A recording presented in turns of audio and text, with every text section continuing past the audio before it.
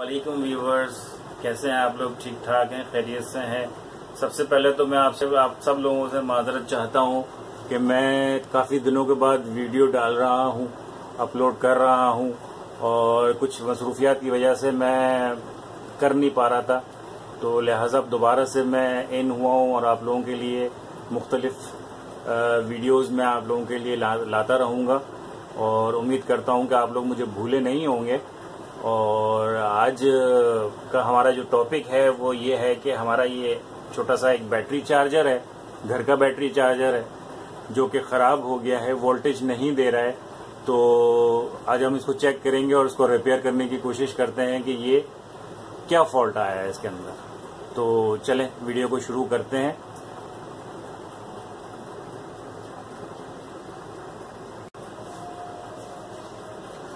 तो दोस्तों, ये आज ये हमारा छोटा सा एक प्रोजेक्ट है, जिसपे हम आज काम करने वाले हैं।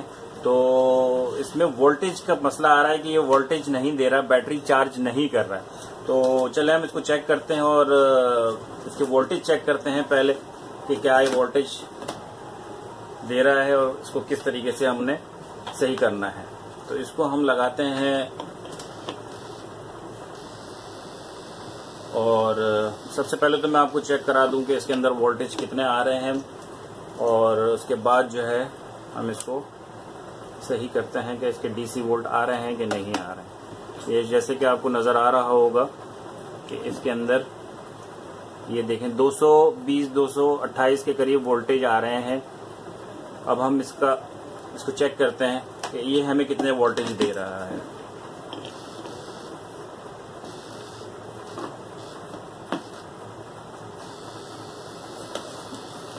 मल्टीमीटर को हम डीसी मोड पर रखते हैं और डीसी क्योंकि ये 12 वोल्ट का चार्जर है, इसलिए हम इसको 20 पे रखेंगे और चेक करते हैं कि इसके अंदर क्या वोल्टेज दे रहा है या नहीं दे रहा है ये।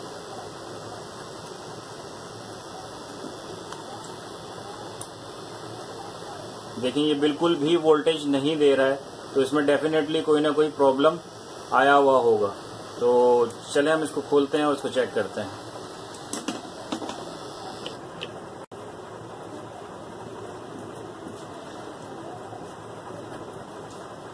तो गाइज़ मैं इसको खोलता हूँ और देखता हूँ कि इसके अंदर क्या प्रॉब्लम आया हुआ है।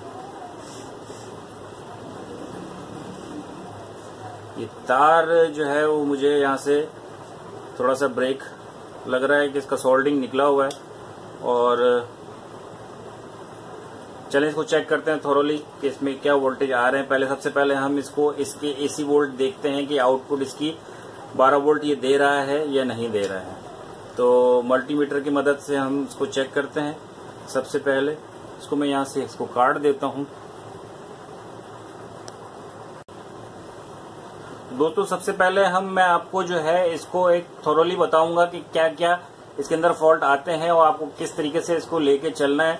सबसे पहले हमको जो है इसके एसी वोल्ट चेक करने हैं कि ये 12 वोल्ट आ रहे हैं कि नहीं आ रहे हैं। तो हम इसको प्लग इन करते हैं।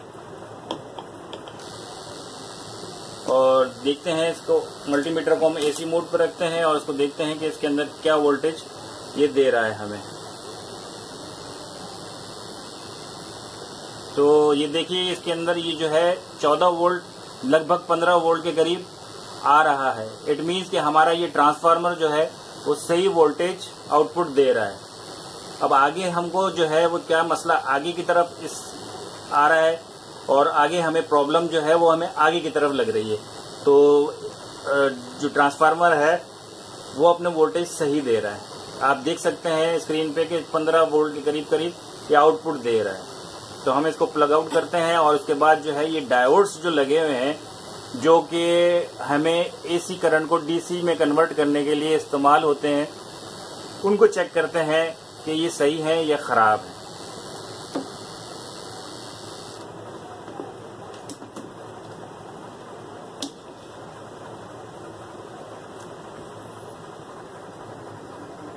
तो गैस जैसे कि आपने देखा कि हमारे पास एसी वोल्टेज जो है वो प्रॉपर आ रहे हैं। अब हमें जो है वो फॉल्ट ट्रेस करना है जो कि ये इन डायोड्स के अंदर हो सकता है। ठीक है? तो आपको तो पता, आपको पता होगा कि डायोड्स क्यों इस्तेमाल किए जाते हैं। ये डायोड्स जो है वो आपके एसी करंट को डीसी में कन्वर्ट करने के लिए इस्तेमाल किए जाते हैं। तो चलिए हम इनको चेक करते हैं। वन बाय वन के इसमें से क्या खराबी है? कोई डायोड तो नहीं खराब हो गया। तो हम जो है मल्टीमीटर को डायोड मोड पे रखते हैं डायोड टेस्टिंग मोड पे, और वन बाय वन चेक करते हैं कि ये डायोड खराब तो नहीं है।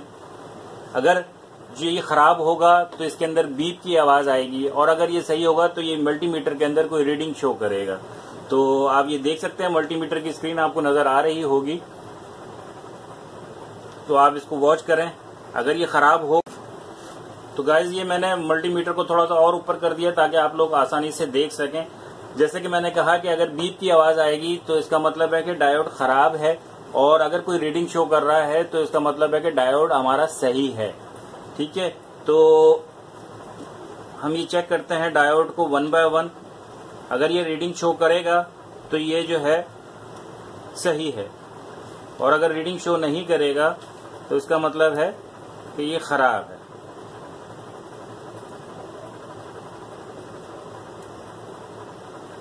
ये देखिए, ये रीडिंग शो कर रहा है। इसका मतलब है हमारे एक डायोड ये वाला सही है। अब हम दूसरे की तरफ़ आते हैं और दूसरे को चेक करते हैं। दूसरा भी हमारा डायोड सही है। अब हम तीसरे की तरफ़ आते हैं और तीसरे को चेक करते हैं। तो तीसरा डायोड भी हमारा सही है। और अब लास्ट एंड फाइनल डायोड की तरफ़ हम आते हैं। और चेक करते हैं कि आया ये डायोड सही है या खराब है।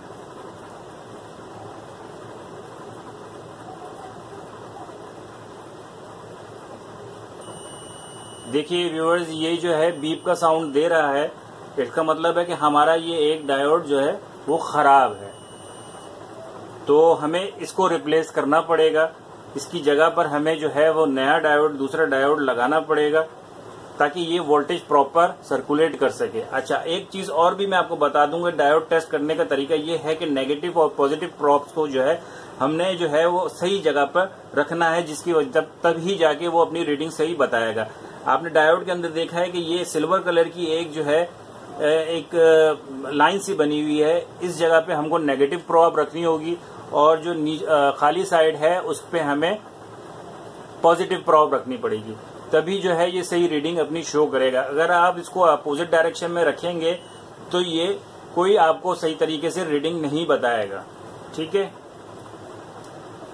तो चलिए, हमें पता चल गया है कि हमारा ये एक डायोड खराब है और हमको इसको रिप्लेस करना है। उसके बाद रिप्लेस करके जो है हम देखते हैं कि हमारा जो चार्जर है, वो सही वर्क कर रहा है या नहीं कर रहा।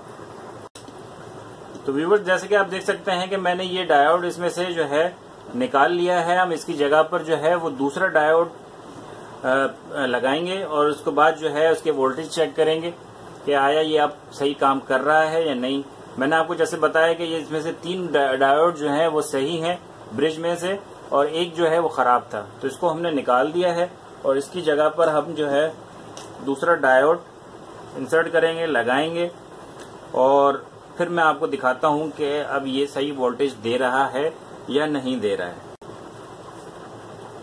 तो ये जो है, मैं इसके साथ अब अटैच करूँगा डायोड को और उसके बाद हम इसके वोल्टेज चेक करेंगे कि आउटपुट सही दे रहा है या नहीं दे रहा है। तो ये जी आप देख सकते हैं। अच्छा और दूसरा एक बात यह भी है कि आपको शायद इसका जो है आइडिया ना हो कि इसके डायोड्स की पोजीशन हमने क्या रखनी है। तो नेक्स्ट वीडियो के अंदर इंशाल्लाह ताला मैं आपको बताऊँगा कि चार्जर के अंदर जो ब्रिज बनता है जो डीसी के लिए ब्रिज बनता है, उसको किस तरह से रखा जाता है डायोड्स को? तो वो मैं आपको नेक्स्ट वीडियो में बताऊँगा। अभी मैंने सिर्फ़ आपको फॉल्ट ट्रेस करवाया है कि हमने चारों डायोड चेक किए, जिसमें से एक खराब था तो हमने उसको रिप्लेस किया है। ठीक है जी?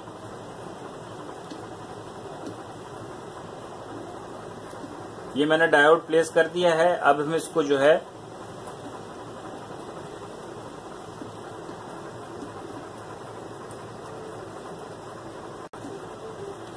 तो जैसा कि आप देख सकते हैं कि मैंने डायोड के साथ अटैच कर लिया है। हम एसी की जो है ना वायर इसके साथ जोड़ते हैं ट्रांसफार्मर की लाइन इसके साथ जोड़ते हैं।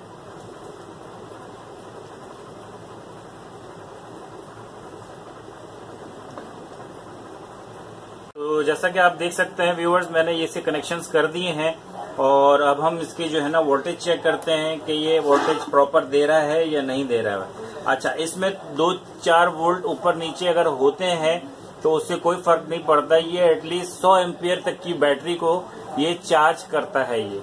100 एम्पियर की बैटरी को ये चार्ज आसानी से कर लेता है। तो हम इसको लगाते हैं और चेक करते हैं कि आया ये वोल्टेज सही प्रॉपर आ गए हैं या नहीं आए।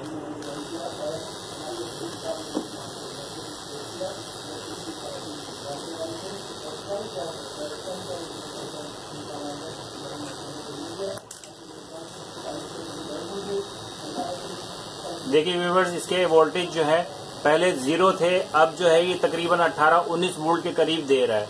क्योंकि इसके अंदर, इस ब्रिज के साथ हमने कैपेसिटर भी लगाया हुआ है। कैपेसिटर, क्योंकि वो एनर्जी स्टोर करता है तो इसलिए दो चार वोल्ट ये ज़्यादा दिखा रहा है। इससे कोई फ़र्क नहीं पड़ता, आप इससे 100 एम्पियर तक की बैटरी भी आसानी से चार्ज कर सकते हैं।